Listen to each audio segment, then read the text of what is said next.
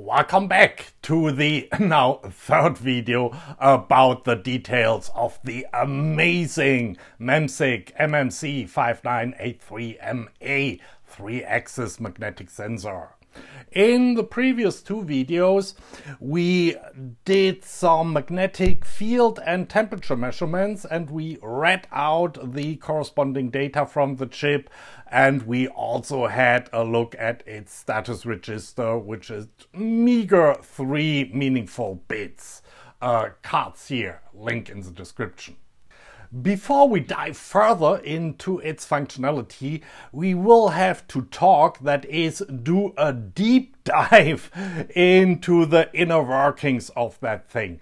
That is the anisotropic magnetoresistive or AMR sensors that that thing is using. I feel that's necessary to really understand what some of the commands that chip understands are really doing. Enjoy!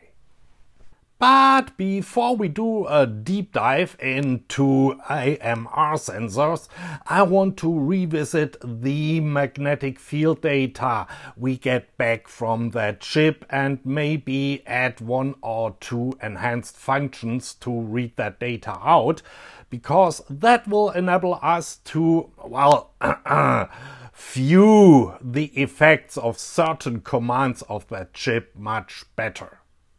We already went in part 1, already carded a link in the description, over the registers containing the magnetic field data. It's basically 18 bits for each axis and an unsigned format. And uh, you are free to just use a 16-bit of the 18 bits and that's then called a 16-bit operations mode. Please note that this is really all the information you get about the X out registers here in the data sheet and it's the same for the Y out and Z out registers on the front page of the data sheet, uh, basically in passing, the information is given that we have a full scale range of plus minus 8 Gauss with a 0.25 milligauss, uh, respectively 0.0625 milligauss resolution per LSB at 16 bits, uh, respectively 18 bits resolution mode. We already implemented in the first the details video, already carded, link in the description, these two methods here, which return us the raw axis output for each axis in 16-bit and in 32-bit, unsigned. But now we know it's really a plus minus range with zero in the middle. So I have here two new methods, raw axis output signed, which returns us a signed 32-bit integer. I'm no longer caring about the 16-bit values, okay? And a raw axis output in Gauss, which returns a float for each axis. Here's the implementation of the raw axis output signed method. So we know that according to the datasheet, the full scale range is plus minus 8 Gauss, so covering a total of 16 Gauss. We also know that according to the datasheet, in 18-bit mode, and we will use 18-bit mode from here on out, is 0.0625 milligauss per least significant bit. So the maximum raw unsigned 18-bit value we can get is 2 to the power of 18 minus 1, or in decimal, 262,143. And if we multiply that with our LSB resolution of 0.0625 milligauss, we get 16.38 something, not 16, not plus minus 8. Uh, yeah, that's the first bummer. Now, and yes, I rearranged and corrected the last two lines here between takes. Uh, our LSB, if we uh, calculate it the other way around, is 16 Gauss, so 8 Gauss minus minus 8 Gauss, divided by our 18-bit range, the 2 to the power of 18 minus 1, so 262,143. And that gives us a value of 0.061 and then something milligauss, not as stated in the datasheet, 0.0625 milligauss. So, what is true? The plus minus 8 Gauss range or the 0.0625 milligauss resolution per LSB? Well, we will have to pick one later on. Anyways, the center, so uh, 0 Gauss of our unsigned 18-bit value is of course the 262,143, so our 2 to the power of 18 minus 1 divided by 2. And that's unfortunately not an integer, that's 131,071.5. Uh, the nearest integer value is 131,072. That's 2 to the power of 17. 17, of course, being 18 minus 1. And so accepting a rounding error here of, uh, yeah, half a least significant bit, I define our signed raw axis output as our raw axis output 18 bits minus 131,072 and that should in theory put 0g square at the middle of our value range. Now for the raw axis output in Gauss. So we take our raw axis output 80 bits again, and this time, because we are now in the float domain, uh, we take actually the exact center value of uh, 131,071.5 and subtract that. And then we just make a decision and we believe that the 0.0625 milligauss per LSB is yeah, the truth according to the datasheet, and that they were just too lazy uh, to write something else here uh, than plus minus uh, approximately 8 Gauss, like uh, plus minus 16.1 uh, whatever Gauss. Okay, it's a decision, but uh, the same decision has been made in the other library, the already existing library for the chip that I showed you in the basics video card here, link in the description. So we take here our center value and then we plus minus now and then multiply it with 0.000625 Gauss. And that gives us our raw axis value in Gauss. Hopefully. Now, in the sketch itself, I uh, commented out everything that would print anything onto the serial port because I want to use the serial plotter. Instead, I uh, printing out here labels for six lines on our serial plotter that is unsigned X, Y, Z and signed X, Y, Z. And then in the loop, I have a delay of 100. I take my magnetic field measurement, I read my axis output, and then I print out the raw 18-bit values from uh, the X, Y, and Z axis and the signed values of my x, y, and z axis. And we just trust that that raw axis output Gauss is working. I mean, uh, it's trivial. And here we see the output on the serial plotter. So the top lines here at aboutish, yeah, 14,000 uh, these are our unsigned, of course, X, Y, and Z values, uh, blue, red, and green. And then down here, we have our signed raw output values. Uh, X is orange, Y is uh, lilac, and then dark green is Z. And if I now rotate my ship, you can see that the curves are doing basically exactly the same, uh, but the signed stuff is going on around the zero line. And yeah, currently that's only happening for the X and Y axis, but I can do the same for the Z axis, of course, when I rotate it this way. Yeah, that's it, almost. In the sketch, I'm printing out now here only the label for the signed outputs and only printing out the value of the signed outputs.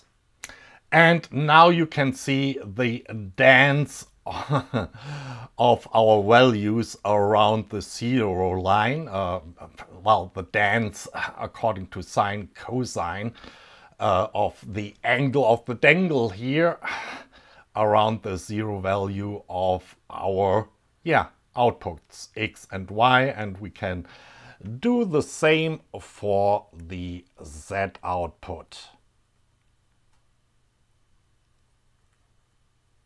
Very nice.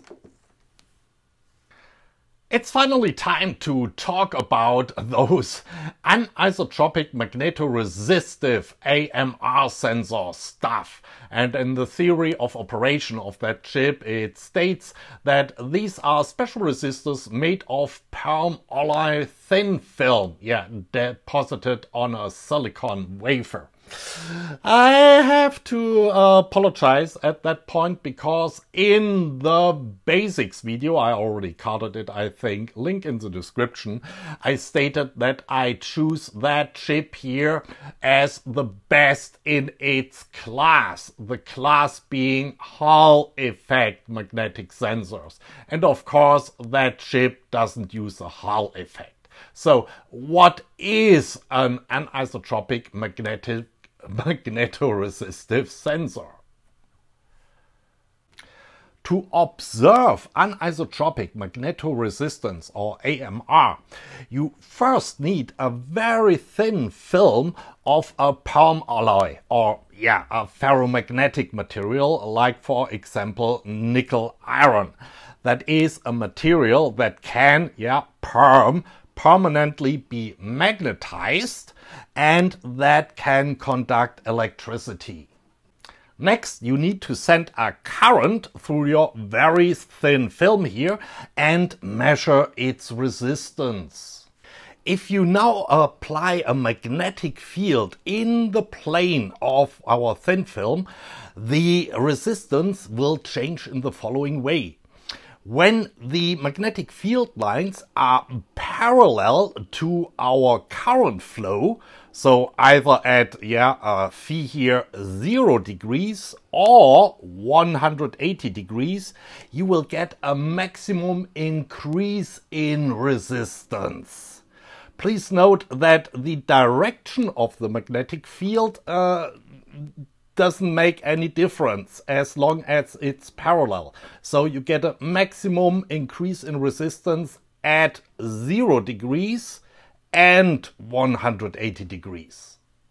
If the magnetic field is at a 90 degree angle to the current or a 270 degree angle to the current, you get a maximum decrease of the resistance.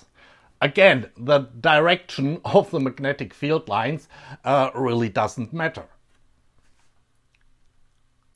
Finally, if the magnetic field lines are at a 45 degree angle, a 135 degree angle, a 225 degree angle, or a 350 degree, uh, degree angle to our current, we observe no change in the resistance. Again, uh, yeah, the direction of the field lines uh, doesn't really play any role. Also, if you have a magnetic field that is perfectly perpendicular, so at a 90 degree angle to the plane of our thin film, you get no effect at all and uh, direction again doesn't play a role. However, if that magnetic field is not at a 90 degree angle but uh, yeah at for example a 45 degree angle you get some effect because then you have a small component of the magnetic field that is in the plane of the thin film. And this follows also, of course, a sine cosine function. If you plot just the change of resistance, delta R, alongside here our angle phi between 0 and 360 degrees, you get that curve here. Yeah, with the two minimas and the two maximas, 0 and 360 degree is of course uh, the same again. And the four zero points where is, there's no change in resistance. And this curve here is proportional to the cosine of 2 times our angle phi. So yeah, basically we have here uh, a, a, a 2 hertz curve. And the change, the delta in resistance is proportional if the field, the magnetic field is really just in the plane of our thin film, uh, proportional to the strength of that magnetic field. If that magnetic field is at an angle of to our thin film, we talked about that, then it's proportional to the strength of the field times the cosine of the angle to this film, being that 0 degrees and that 90 degrees. So, how does the whole thing actually work? Well, unlike Hall elements, which you can explain by means of classical physics, and I've done that in another video, uh, card here, link in the description, uh, to explain anisotropic magnetoresistance, you need first relativity theory and second quantum mechanics. And I won't do that in this video. I'm sorry, that's, that's really beyond me. But to give you some buzzwords, the magnetic field influences the spin of the electrons that are in orbits, that is quantum mechanics clouds around our atoms and those change their um, electron fine structure or something. And therefore, you need more or less energy, resistance, to get electrons flowing here through the material. Uh, but yeah, uh, let's leave it at that. Unfortunately, we're not yet done because uh, here in the theory of operation it continues. A strong magnetic field is applied to the film to orient its magnetic domains in the same direction. Basically, yeah, we have a permalloy here. So we can pre-magnetize it and uh, yeah, forget about that during manufacturing for just for a second. Establishing a magnetization vector. Yeah, a pre-magnetization. We have a north and a south pole in our material. Subsequently, an external magnetic field applied, and we skip that, causes the magnetization to rotate and change angle. Let's have a look at that. There's a lot left unsaid in that theory of operation.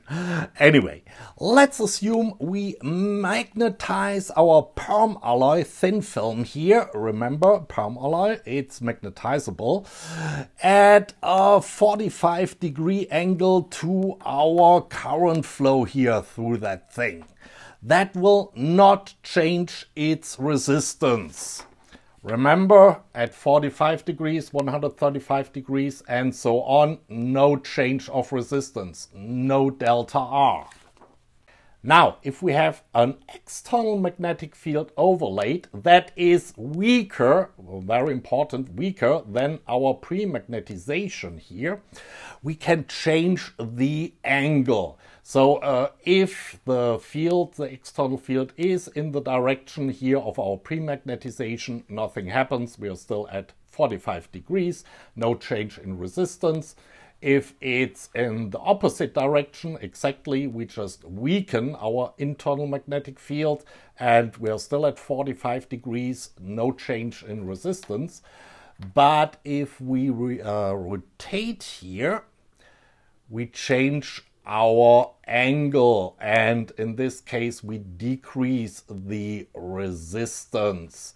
And if we rotate here further we change our angle in the other direction, yeah, going more parallel to the current, and we increase the resistance. The maximum increase being, of course, here at a 90 degree angle to our pre-magnetization, and the maximum decrease also at uh, yeah the other 90 degree angle I will show you a curve in a second to the magnetization to summarize, as we rotate our external magnetic field, the resulting field, yeah, overlaid to our pre-magnetization, changes the angle and we get here a zone where the resistance is decreased and we get a zone here, one zone where the resistance is increased. And ah, guess what? Our sensor is now directional. It can detect the direction of the external magnetic field. And here we have the plot of the change of resistance, delta R, over the relative angle of our external field to our pre-magnetization. So 0 degrees, 90 degrees, 180 degrees, 270 degrees, and back to 360 degrees. And that curve is now proportional to the negative sine of our angle alpha. So no longer that two hertz funny business here, or uh, basically two periods of our trigonometric function within 330 uh, degrees, but really only one period, one sine curve.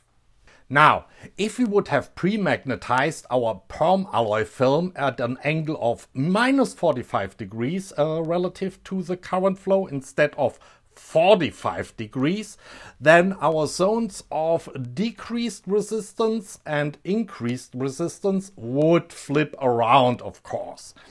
And that would lead in our plot here to a 180 degree phase shift. That's the barely visible dotted line here. I messed that up in the drawing, I'm sorry.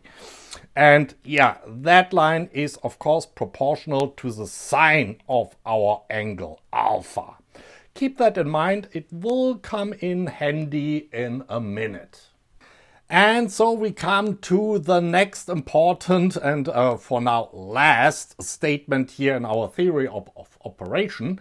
The MEMSIC AMR sensor is incorporated into a Wheatstone bridge configuration to maximize a signal to noise ratio. Yeah, we have seen that thing is really no noise. And these Wheatstone bridges, in our case uh, consisting of four AMR sensors, are also symbolized here in the functional block diagram. So one Wheatstone bridge for each of the axes.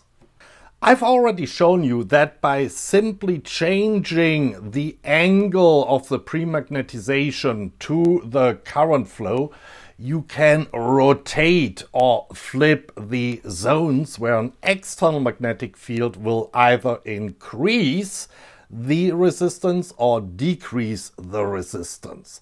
But there are two more permutations to that game.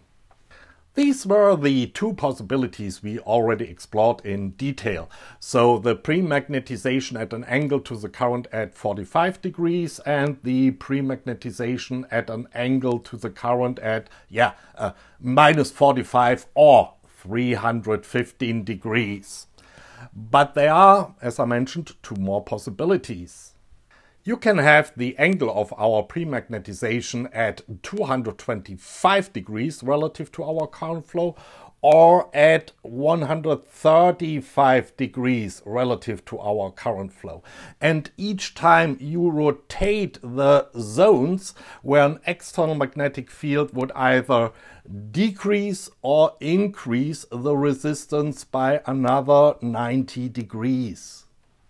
Please note that this pair and this pair of permutations can also be created by just flipping the direction of the premagnetization. Keep that in mind. Now we have everything to build our AMR sensor Wheatstone bridge consisting of four single AMR sensors that are all pre-magnetized in the same direction. The exact geometry with 90 degree angles and uh, 45 degree angles everywhere is of course important. Anyway, we feed in a stabilized, hopefully stabilized voltage here at the top and we connect uh, the bottom to ground and then we have here a differential output out plus and out minus given by, yeah, the two voltage dividers here in each arm. If we now apply an external magnetic field in that direction, the resistance of these two AMR sensors will decrease and the resistance of these two AMR sensors will increase. So our out plus voltage will increase and our out minus voltage will decrease. If we flip around our external magnetic field 180 degrees, everything else flips around too. So we have now a resistance increase in that sensor and that sensor and a decrease in that sensor and that sensor. So out plus goes down and out minus is increased. If the magnetic field comes from a 90 degree direction or a 270 degree direction, the resistance of our AMR sensors is not changed and out plus should be, if everything is really completely symmetrical, equal to out minus. So our differential output voltage would be zero. In between, we do the usual, in this case, cosine dance here. So our output voltage maximum amplitude is of course proportional to the strength of our external magnetic field and it follows or is proportional uh, to the cosine of the angle of the magnetic field. Using four AMR sensors in such a Wheatstone bridge configuration has two advantages. First, the AMR effects in each of the sensors amplify each other, so we get a better signal to noise ratio as we have already seen. Second, we no longer need to measure a resistance, which is always a pain in the behind. Instead, we can feed the differential output of our Wheatstone bridge directly into a differential analog to digital converter. And two last remarks. If we were to flip the orientation of our pre-magnetization 180 degrees, the output of our Wheatstone bridge would also be just flipped here, the dotted line, so we would get the negative output, which would be proportional to the minus cosine of our angle alpha. And lastly, the actual layout on the chip of these AMR Wheatstone bridges might be much more complicated. For example, employing a whole lot of single AMR sensor elements in each arm of the Wheatstone bridge to further increase the signal to noise ratio. That figure came out of a paper from Markevicius et al. Uh, sorry for slaughtering your name. Uh, link in the description. That brings us to the last important statement in the theory of operation. The MEMSIC magnetic sensor has an on-chip magnetically coupled strap, a set reset strap pulse with a high current to provide the restoring magnetic field. Well, it's not quite English, but it basically means we have somewhere a coil here near our Wheatstone bridge, which can be used to either pre-magnetize our AMR sensors in one direction or in the other direction. That brings us back to my cheat sheet for the status and control registers. In the internal control register 0, we find a set and a reset bit. If we write a 1 to the set bit, yeah, that will reset automatically back to 0 after the operation is done. We will send a hard current through that coil and set the pre-magnetization of our AMR sensors. If we write a 1 to reset, we will reverse the pre-magnetization of our AMR sensors. Okay, let's go real quick over the implementation of these two new, as I call them, basic commands. And that is the set sensor magnetization and reset sensor magnetization. Nothing new here, they just work exactly like take magnetic field measurement and take temperature measurement. So of course we have also in our header file of the library two new bits here uh, for set operation bit and reset operation bit in our control register 0. And then we have the implementation of those public methods here and they are really exactly the same, just yeah, setting another bit here like the take temperature measurement stuff and the take magnetic field measurement stuff. Before we do a little experiment with these two new methods, uh, let's look at the status quo of our chip as it is. So here now in the init, I just print out one label X for our serial plotter.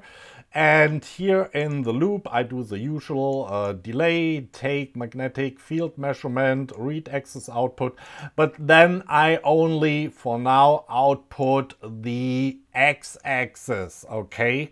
Let's have a look at the serial plotter. Okay, I've rotated here my chip in a direction where I get the maximum output on the x-axis. I can yeah, turn it again 360 degrees and we see that little dance here. Wonderful. Let's go back. So I want you to note if I orient that in this direction here, approximately we get our maximum output. So uh, yeah, uh, aboutish 4,000, positive 4,000. Okay, now I extended my loop a little bit. I introduced here a static bind count, which is initialized to zero the first time only loop is called. Then I increase count here by one, and then I have that little switch statement here. So if count is one, then I perform a set sensor magnetization operation, and if count is 21, then I perform a reset sensor magnetization. And uh, at count 41, I revert count back to zero and we start again with that logic. The left, uh, the rest is unchanged. So every aboutish uh, two seconds, 2.1 seconds, uh, we should see something happening on our serial plotter.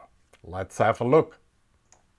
And indeed, every two seconds the output on our X channel uh, flips its polarity. And yeah, uh, this also works, of course, for any values in between. It's, oops, mouse, uh, quite hilarious, actually.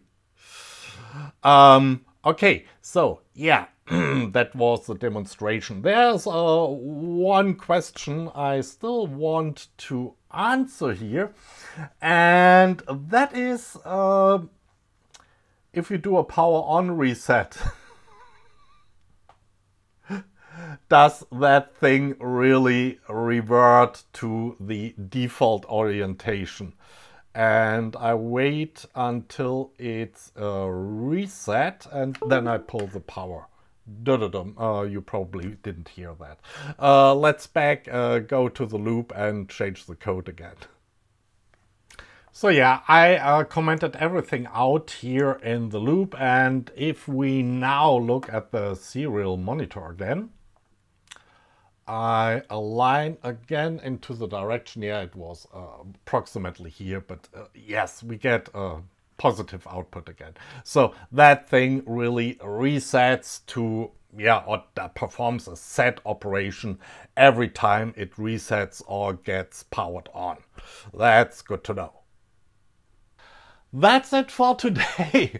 uh, yeah, uh, a little longer video this time, but I felt really, uh, yeah, it was necessary to dive a little bit into that AMR sensor stuff.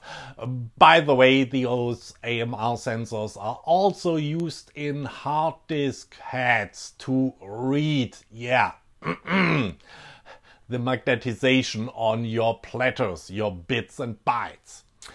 Anyway, uh, next time we will uh, just continue normally with uh, more software, more code going through my cheat sheet of the control and status registers. Till then, bye.